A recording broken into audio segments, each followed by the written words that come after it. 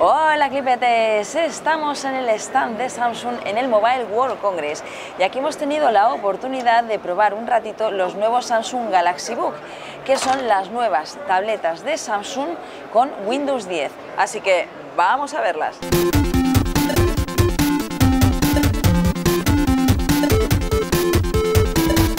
Ya sabéis que Samsung actualmente dispone de un equipo 2 en 1 que es el Samsung Galaxy Tab Pro S, que es un dispositivo que cuenta con Windows 10, que tiene su teclado y en el que podemos trabajar perfectísimamente con un procesador Intel Core M. En esta ocasión lo que han hecho es lanzar dos tabletas, dos tabletas con Windows 10 en dos tamaños diferentes, pero lo que cambia no es solo el tamaño, sino también lo que integran por dentro. En este caso, lo que tenemos es el Samsung Galaxy Book de 12 pulgadas. En este dispositivo nos encontramos 12 pulgadas, como os decía, de diagonal con una resolución de 2160 x 1440 píxeles. La pantalla cuenta con tecnología Super AMOLED y si hablamos también de lo que tiene por dentro, utilizan procesadores de séptima generación Intel.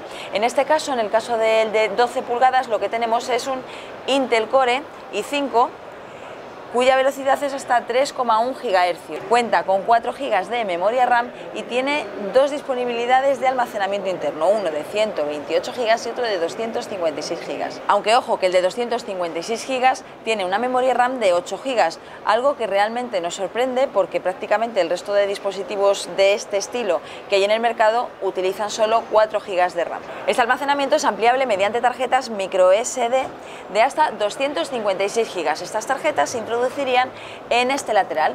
Y si nos fijamos por aquí, vemos que aquí tenemos la salida de altavoces. Tendríamos sonido estéreo, ya que contaríamos en este otro lateral también con salida de altavoces. En la parte de arriba nos encontraríamos con el botón de encendido, apagado y bloqueo y tenemos aquí el control de volumen. Esta parte de aquí nos serviría para la disipación de calor, porque ya sabéis que un procesador Intel Core i5 pues genera suficiente calor como para que tenga que ser disipado, a pesar de que la construcción en aluminio ayuda bastante a poder realizarlo. Mirad, aquí tenéis lo del Intel Core i5 para que luego no pensáis que os estoy engañando. Por dentro cuenta con GPS y su peso es de 754 gramos, un peso que está bastante bien, sobre todo si hablamos del tamaño que tiene, las 12 pulgadas. Esto también nos va a resultar especialmente interesante para poder utilizarlo en movilidad, pero como es un tablet que está destinado también al mundo profesional, para utilizarlo en movilidad nos va a venir estupendamente bien el teclado. Este teclado que se conecta de manera magnética al tablet. Venga, vamos a probarlo lo conectamos así y entonces ya lo tenemos con teclado.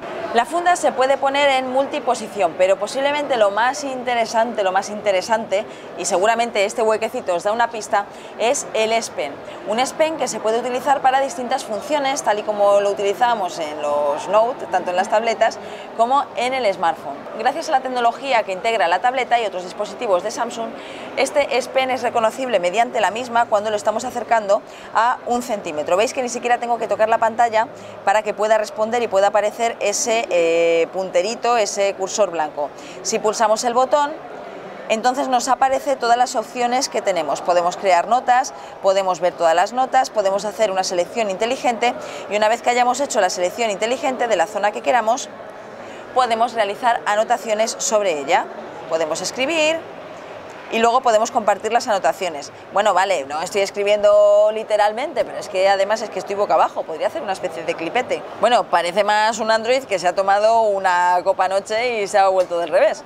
Este lápiz eh, integra tecnología de Wacom. Ya sabéis que Wacom es una empresa que tiene una tecnología muy avanzada con el tema de las tabletas digitalizadoras y demás, y entonces pues no era de extrañar que utilizasen esa tecnología también la gente de Samsung en sus dispositivos. Como veis, cuenta con un teclado, un teclado completo, las físicas, por aquí tenemos un touchpad y tiene también un chip NFC para distintas funciones.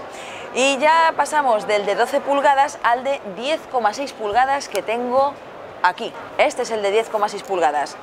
La idea es exactamente la misma, tenemos la posibilidad también de utilizar el S Pen para poder realizar eh, anotaciones y demás. Así que con este puntero tendríamos exactamente las mismas funcionalidades que tendríamos cuando os contamos y estuvimos hablando del Note. Y una de las cosas divertidas es que la gente de Samsung ha hecho una colaboración con Stanler, sí, los de los lápices, y han lanzado Un lápiz del estilo del S Pen, claro, no tiene botón ni nada por el estilo, pero sí que es verdad que nos va a permitir pues, realizar anotaciones igualmente, lo reconoce y nos da la sensación de que tiene una mezcla de plástico por dentro, pero que por fuera es como madera prensada, viruta prensada. Y de hecho, en el propio lápiz pone eh, y Samsung. Si los comparamos, pues vemos que realmente son diferentes, lo que pasa es que lo del lápiz es muy muy muy divertido. Y vamos más en detalle con este Samsung Galaxy Book de 10,6 pulgadas. Es un tablet más pequeño y también tiene pues un procesador un poco más modesto, menos capacidad de almacenamiento. En este caso estaríamos hablando de que cuenta con un Intel Core M3 a 2,6 GHz, sigue siendo un procesador de séptima generación, estaríamos hablando de los últimos procesadores de Intel y por dentro tiene 4 GB de RAM. El almacenamiento estaría disponible en 64 y en 128 gigas. También el peso es más reducido, estaría rondando los 650 gramos. Con respecto a la conectividad física, lo que nos encontramos es en este lateral un puerto USB tipo C. Un puerto USB tipo C también es lo que tenía el Samsung Galaxy Tab Pro S, pero si estamos hablando del Galaxy Book, eh, de 12 pulgadas lo que tenemos son dos puertos USB tipo C, algo que nos parecía bastante adecuado para poder tener uno para los dispositivos que queramos conectar y otro para poder recargarlo, porque en estos tablets la recarga la realizamos también mediante ese puerto.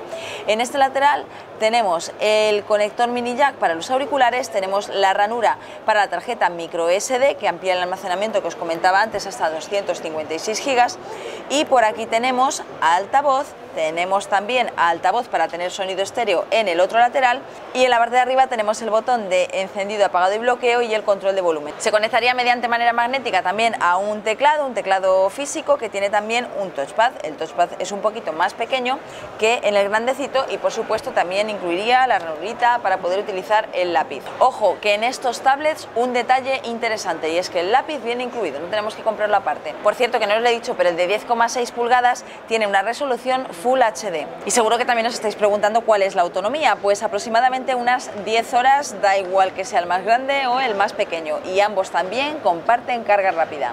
Aquí los tenemos comparados y la verdad es que lo más importante casi no sería el tamaño para el usuario, porque no hay tantísima diferencia y el peso realmente son solo 100 gramos de diferencia.